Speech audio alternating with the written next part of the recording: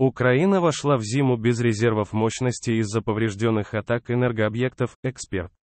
Из-за поврежденных и разрушенных атак прошлого отопительного сезона энергетических объектов Украина вошла в зиму без резервов мощности, поэтому в периоды похолодания энергосистема будет испытывать их дефицит, об этом сообщает РБК Украина со ссылкой на директора энергетических программ Центра Разумкова Владимира Амельченко. По его словам, многие объекты генерации были повреждены и разрушены во время боевых действий.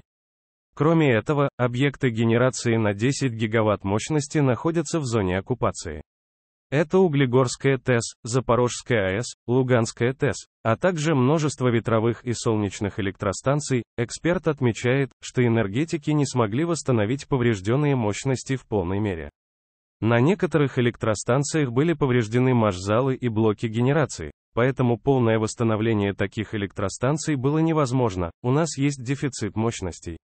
Поэтому, когда будут очень низкие температуры, менее 7-8 градусов мороза в среднем по Украине, которые будут продолжаться в течение нескольких дней, то в пиковые часы у нас могут быть дефицит мощности от 2 до 3 гигаватт. Такой дефицит мы чисто технически не сможем перекрыть импортом. В этом случае у нас будут плановые отключения. Это при том условии, что у нас не будет новых повреждений энергетической инфраструктуры, считает Амельченко. По его словам, сейчас Украина имеет техническую возможность покрывать часть дефицита за счет импорта.